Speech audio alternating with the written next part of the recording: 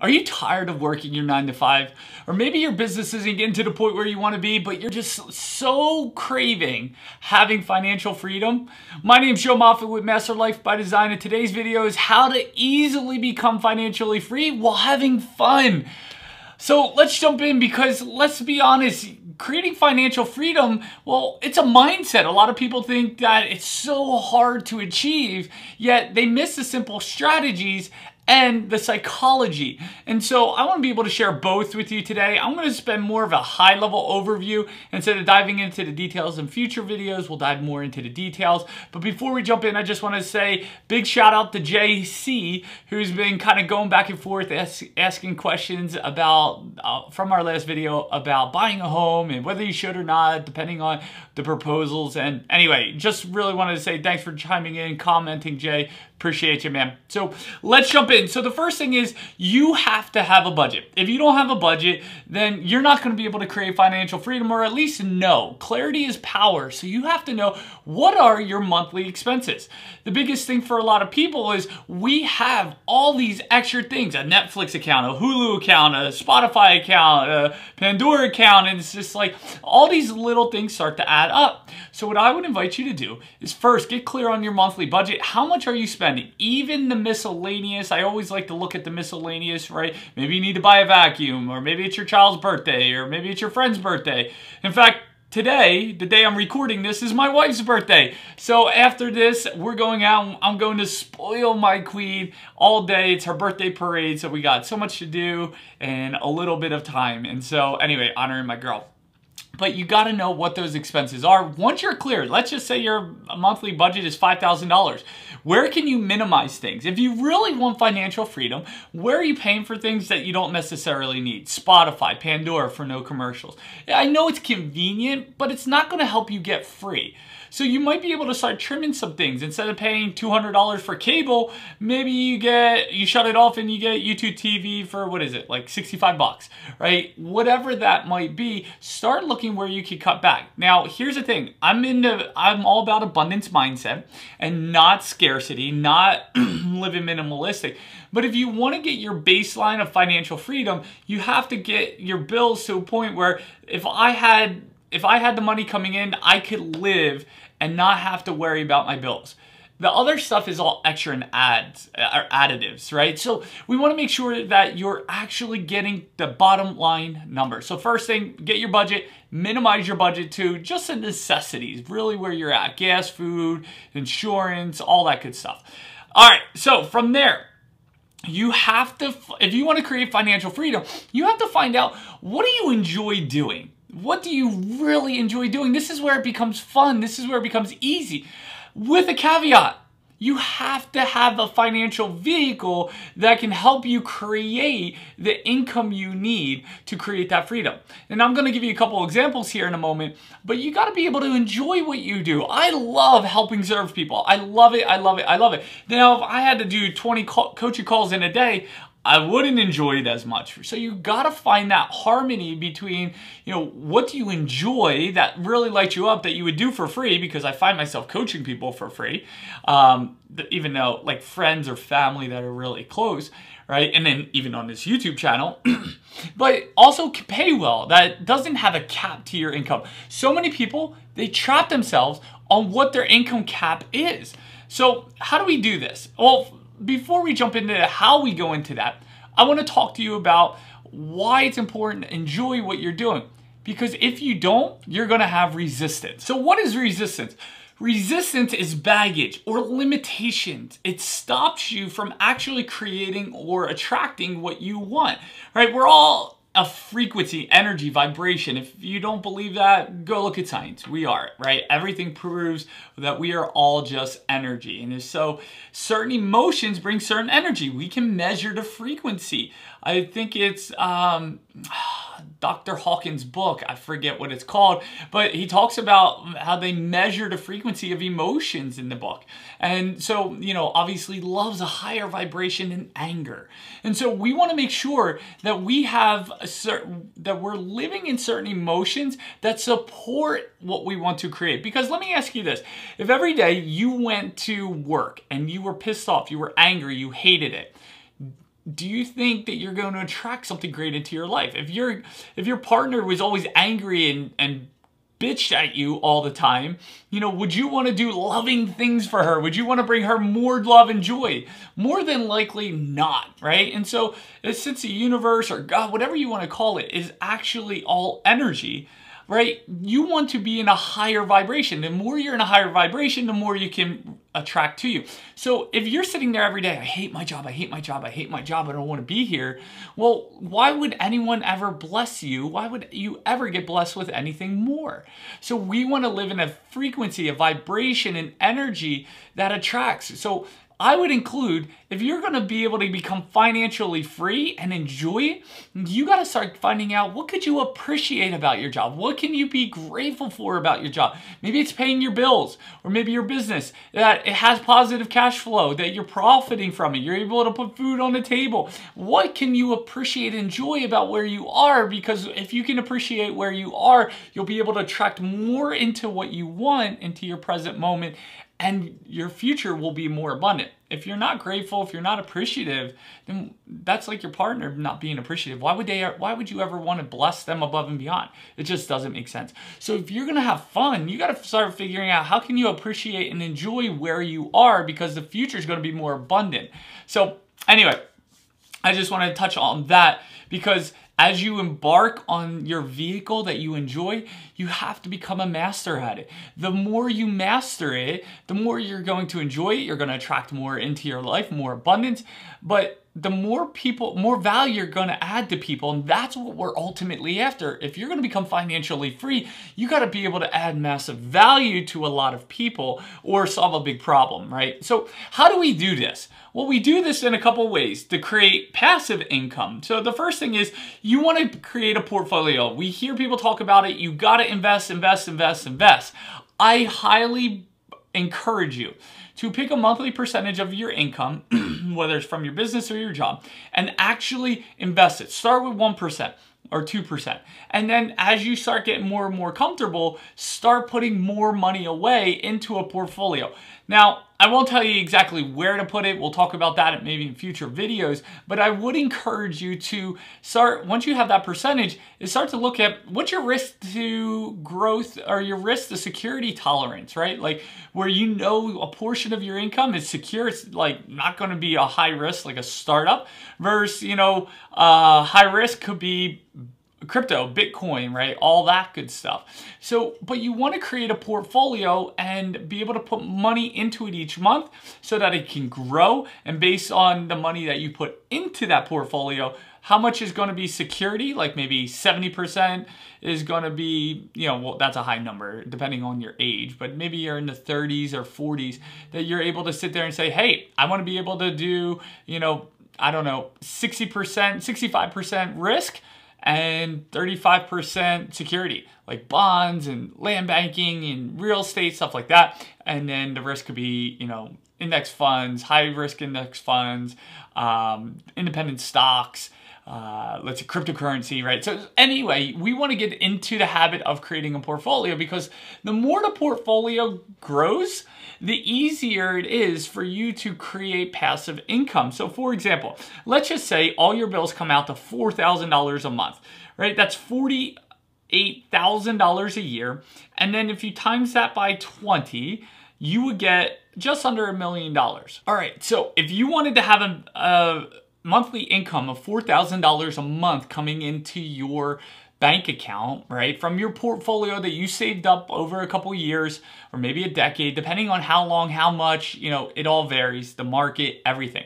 But let's just say you had a million dollars in your bank account. You saved up a million, however you got it, selling real estate, whatever.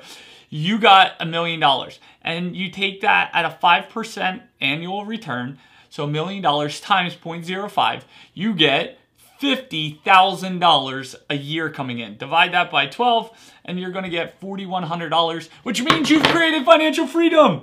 You can do that. So that's the first way. There's so many different ways to create passive income and create financial freedom for yourself. The next one is create a business. a business that you enjoy, that you can add massive value to, that you could go all in on. Keep your expenses low. Now, I'm a big fan of online businesses. Some people like hard locations. I don't, I'm, I just like the freedom lifestyle, the laptop lifestyle. This is my business. This is my phone. I get to go anywhere with my phone. I can create income from my phone. I love making money from my phone, my laptop, right? I can make it, I can bring my camera. I don't even need it. I can film my videos with my iPhone for YouTube, right? So create a business that you enjoy, that you want to be a master and add massive value to the marketplace so that you can start to create cash flow. You can be able to put money into that portfolio to help you quickly get to financial freedom. The next way I love is real estate. Now, right now, the real estate market is hot, but looking at wedge deals where you can find equity already built in the house, where someone is in a distressed situation, you can go in, buy it from them, everyone gets a win, maybe fix it up a little bit, get it reappraised, and all of a sudden the house is worth way more. You might have 50, 100, $150,000 in equity. You could turn around, sell the property and get that back. You will probably have to pay capital gain taxes on it or you can rent it out, you can refinance, pull the money out tax free, tax free, and then rent it out to a homeowner. And, or you could get a property at a lower value, put a little bit of money into it, and then have a cash flow of, let's just say, $500 to $1,000 a month. Imagine if you found like a duplex where you were able to cash flow a $1,000 a month. If your bills are 4,000, how many duplexes do you need? You only need four duplexes that cash flow $1,000 a month for you to become financially free. Again, this financial freedom is just a baseline that we're talking about. We're not talking about the surplus and the abundance. We're saying, how do we get your time back? How do we get you out of your business? How do we get you out of your nine to five so that your bills are paid and you could take 40 hours a week, 160 hours or more a month to go back and build your business or your portfolio or whatever you're doing to become financial free and put more time into that to be able to expand it and to grow it even more. And then one of my favorites is this is how I started my coaching journey. And I got a lot of friends in it that's successful is network marketing. Network marketing, while it's not easy, it can be fun. You create lifelong friendships, but you got to get into personal development, work on you, work on your communication skills. But it's great because you can start to build out an organization and help other people be able to make money. And the more people you help, the more money you make. So your income is directly based on how many people you help. And look, I hear I heard it for years. It's a pyramid scam. And look, you could say what you want. I, I'm not in it, so please hear me. I am not in network marketing. I am not pitching network marketing at a specific company, but it is a great industry because think about this in a corporate structure, the guy at the top, the CEO, can the janitor ever make more money than the CEO? More than likely not. Who usually works more? The guy, the janitor, the guy, the lower uh, entry people, or the CEO? Usually the lower entry people. And so you're telling me that there's a group of people at the bottom that can never make more than the CEO, but yet they do more work than the CEO? Sounds like a scam to me. However, this is what I will say. Network marketing is great because the more people you help, the more money you make on a monthly basis that reoccurs. Now, do you have to help people? Do you have to guide people? I got tired of babysitting people because that, that, that comes with it.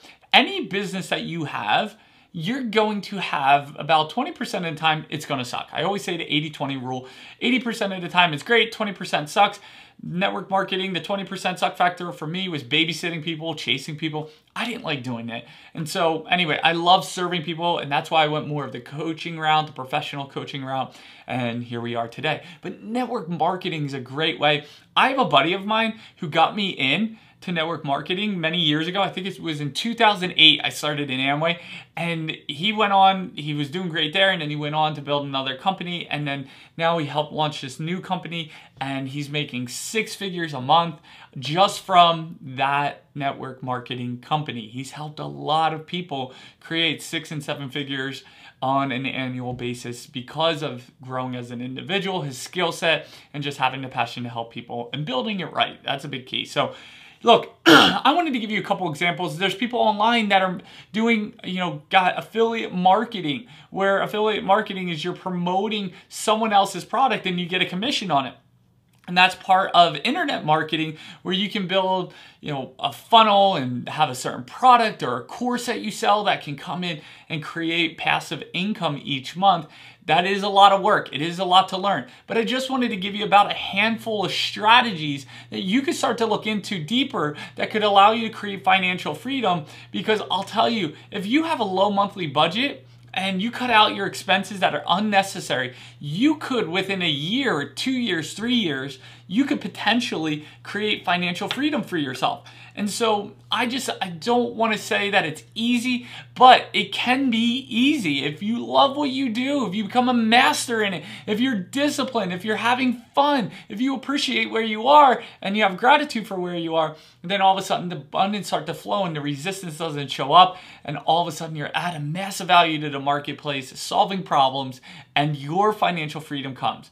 Now, I will say this, you know, can I guarantee any of this? No, I'm just some dude on YouTube just giving you some wisdom that I found, you know, creating financial freedom for myself and my family, creating, helping other people do it. And so now, do I still coach? Do I still work? Do I still build a business? You bet. So just because you hit financial freedom doesn't mean you're going to go sit back on the beach or, you know, watch TV all day. No, in fact, what I found is I like to work more.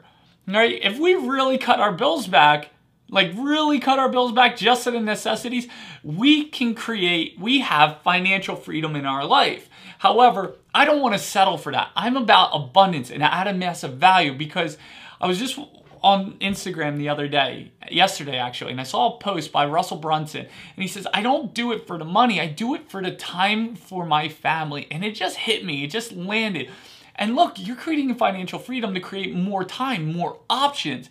That's why these handful of opportunities that I just shared with you, they're just vehicles. Find a vehicle so you can create more time, not create money. I created this video because I want you to think, yeah, you gotta have the money, the financial freedom to have the time.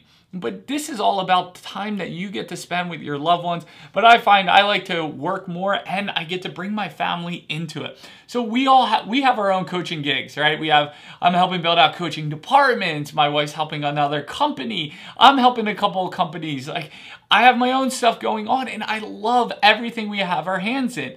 But I don't want to just live off of our bare necessities.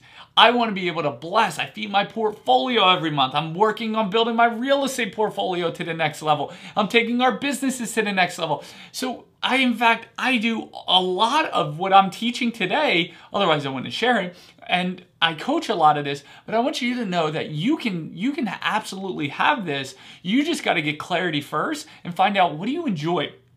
And so if you find that it's difficult to figure that stuff out, go into the description below, one-on-one coaching application. Let's talk about getting you a coach, myself, my wife, or one of our amazing coaches here at Master Life by Design to help you get clarity, breakthrough, and start creating that financial abundance in your life and not having that resistance, but attracting more abundance into your life.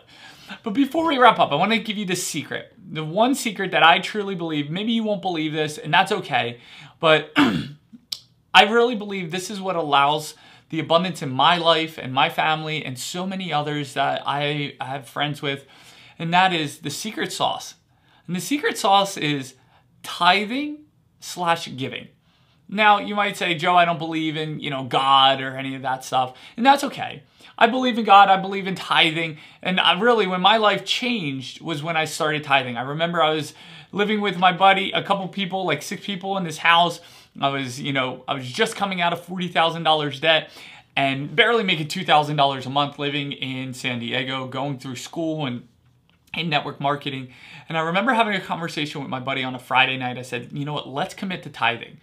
Let's commit to giving 10% of our income no matter what. No matter what. and that next day, we made the commitment. And that next day, because I feel like God knew my heart, the next day, I went for a run with my buddy, and right before we started for a run, I got a text message that said, "Bank, check your bank account from a loved one." And there was three thousand dollars in there that I lent them years ago. Never spoke of it since. I just figured I'd give it, whatever, you know. And boom, when I made that commitment to tithe, life started changing. And I do it, whether money's tight or not. The first thing I do is I tithe 10% of my income. Then I pay myself and my portfolio the percentage that I was talking about earlier. Now, you guys might not call it tithing, but here's what I will say give. Go give to someone.